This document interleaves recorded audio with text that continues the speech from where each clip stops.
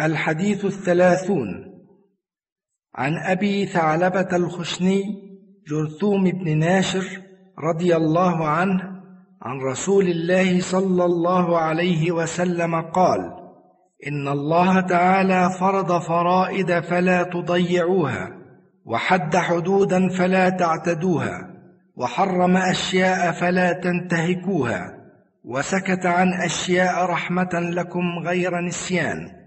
فلا تبحثوا عنها حديث حسن رواه الدار قطني وغيره Hadith 30 It was narrated on the authority of Abu Tha'laba al-Khushani Thurum bin Nashir radiallahu anhu that the Messenger of Allah sallallahu alayhi wasallam said, Truly, Allah the Most High has ordained certain duties, so neglect them not. He has laid down certain limits, so do not transgress them.